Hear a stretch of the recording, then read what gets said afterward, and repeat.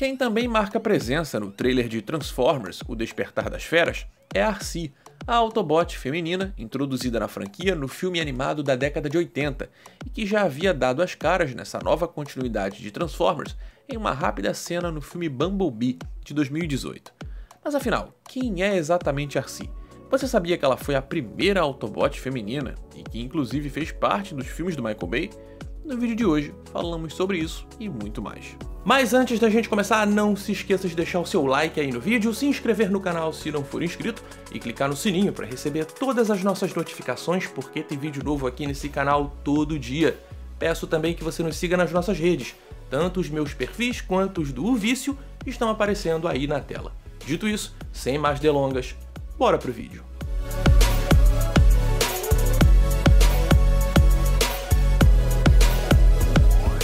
Arcee foi criada para o filme animado Transformers The Movie, de 1986, mas grande parte de sua origem está conectada à história maior de como a franquia Transformers lidou com o conceito de robôs femininas ao longo dos anos. Antes de Arcee, a Hasbro não havia incluído nenhuma personagem feminina em Transformers, acreditando que o seu público primário de meninos não iria querer o que poderia ser taxado como brinquedo de menina, mas no início de 1985, o roteirista do filme, Ron Friedman, defendeu a adição de um Autobot feminino na história, com base no fato de que sua própria filha era fã da franquia. Um design de personagem para Arcee foi criado pelo artista Floro Derry, com uma cabeça inspirada na princesa Leia de Star Wars, uma personagem feminina considerada forte e representativa naquela época. Sua forma de veículo era um carro esportivo futurista e um protótipo de brinquedo até foi desenvolvido. Mas no fim, a relutância da Hasbro venceu e a figura não entrou em produção, tornando Arcee o único robô introduzido no filme a não ganhar um brinquedo. Ainda assim, sua inclusão no filme foi considerada uma vitória, e através de sua criação, outras Autobots femininas foram introduzidas na série animada antes do filme chegar ao cinema. Caracterizada como uma guerreira Autobot gentil e perspicaz, cuja habilidade como guerreira era frequentemente subestimada pelos Decepticons devido ao seu gênero, Arcee foi apresentada no filme como uma protetora do jovem humano Daniel Whitwick, além de um possível interesse amoroso para o seu colega Autobot Rothrod. Após o filme, ela continuou aparecendo na terceira temporada da série animada Transformers, mas o programa mudou um pouco as coisas, colocando-a em um relacionamento com Springer. E por falar em diferenças, a série de Transformers tinha algumas mudanças bem significativas no Japão. Por lá, em Transformers The Headmasters, Arcee aparecia regularmente, mas ao invés de ser retratada como uma guerreira, ela era pouco mais do que uma assistente administrativa dos Autobots, que também servia como babá de Daniel e do jovem Autobot Willy. Além disso, ela ganhou um novo interesse amoroso, Chrome Dome. Após essa época, Arcee ficaria anos distante da franquia. Ela retornou ao universo das animações em 2004 com Transformers Energon, onde era um dos Omnicons, uma raça de Transformers com o poder de manipular Energon. Nessa série, ela se transformava em uma motocicleta, que se tornaria o modo alternativo padrão da personagem para a próxima década. Assim foi considerada para a inclusão no primeiro filme live action de Transformers em 2007, mas foi descartada porque os escritores, mesmo tantos anos depois, ainda achavam que teriam que justificar a existência de um robô feminino.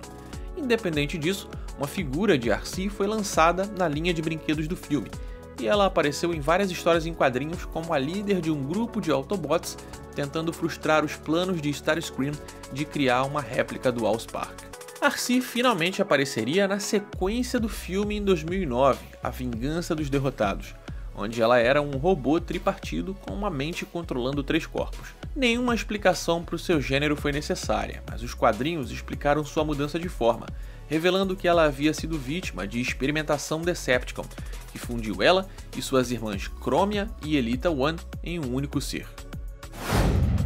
O ano de 2008 marcou a introdução de Arcee nas histórias em quadrinhos de Transformers da IDW, uma encarnação muito diferente e violenta da personagem, que veio do passado distante de Cybertron e que era irmã gêmea de Galvatron.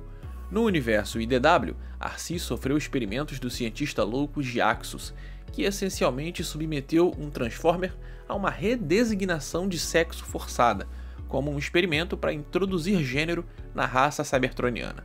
Anos depois, no entanto, a necessidade de introduzir novas personagens femininas no universo de Transformers fez com que novos escritores simplesmente revelassem que robôs femininas existiam naturalmente no universo dos quadrinhos. Arcee, então, foi reescrita como um cybertroniano transgênero que voluntariamente permitiu que Diaxus fizesse experiências com ela na esperança de torná-la seu verdadeiro eu. Ainda em 2008, Arcee retornou ao universo das séries animadas, fazendo parte de Transformers Animated. Nessa animação, Arcee era uma ex-professora que se tornou agente de inteligência, que ficou amnésica depois que Ratchet limpou sua mente para evitar que os Decepticons adquirissem os códigos de acesso que ela carregava para sua arma suprema Autobot. Ela também retorna em Transformers Prime, onde era um membro do elenco principal. Nessa série, Arcee era traumatizada pela morte de seu parceiro Tailgate nas mãos da Decepticon Arachnid e trabalhava sozinha por anos, a fim de não se deixar criar laços com qualquer outra pessoa novamente. Em 2018, no filme Bumblebee, tivemos uma sequência de batalha incrível em Cybertron e Arcee pode ser vista por lá, com um visual que remete bastante ao seu visual G1, embora modernizado. No trailer de Transformers O Despertar das Feras, podemos ver que Arcee está novamente um pouco diferente, com seu esquema de cores dando mais prioridade ao vermelho do que ao rosa. Bom, galera, é isso. Esse é o vídeo de hoje. Espero que vocês tenham gostado. Se você gostou, deixa o seu like aí, porque essa é a forma da gente saber que você realmente gostou. Não se esqueça também de se inscrever no canal caso você não seja inscrito e também acessar o nosso site, ovicio.com.br. Vejo vocês numa próxima. Valeu!